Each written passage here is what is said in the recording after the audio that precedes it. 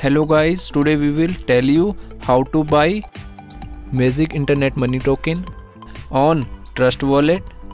Firstly we will purchase bnb smart chain. After that we will click on buy button. And here we will search bnb click on smart chain. Here we can purchase minimum $50 bnb using MoonPay.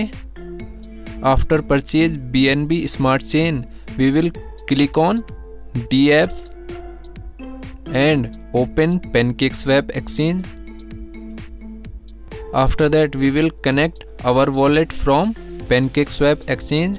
Click on connect wallet and our wallet is Trust Wallet. Click on Trust Wallet. Trust Wallet has been successfully connected after that click on cake. Here we will enter magic internet money token smart address and we will open magic internet money token on coin market cap here we will copy this address and paste here. We will click on import click on i understand and re-click on import after that we will set slippage for effective purchasing. Click on this icon and set 1% slippage click on cut icon. Here we will enter number of tokens and click on swap.